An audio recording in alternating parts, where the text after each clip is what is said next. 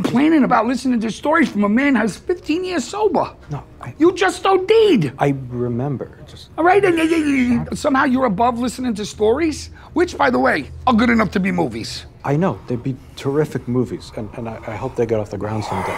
No, look, I'm not saying I'm above anything. I'm just saying that it's not.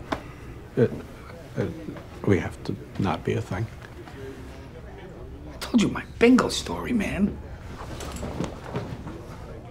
I give and I give and I give.